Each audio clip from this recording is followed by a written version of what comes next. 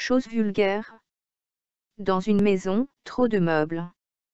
Dans une écritoire, trop de pinceaux. Sur l'autel domestique, trop de Bouddha. Dans un jardin, trop de rochers, d'arbres et de plantes. Dans une famille, trop d'enfants et de petits-enfants. Quand on se rencontre, trop de paroles. Quand on prie, trop de bonnes choses, de soi. Choses qui ne sont pas vulgaires. Dans une bibliothèque, beaucoup de livres. Sur un tas d'ordures, beaucoup d'ordures.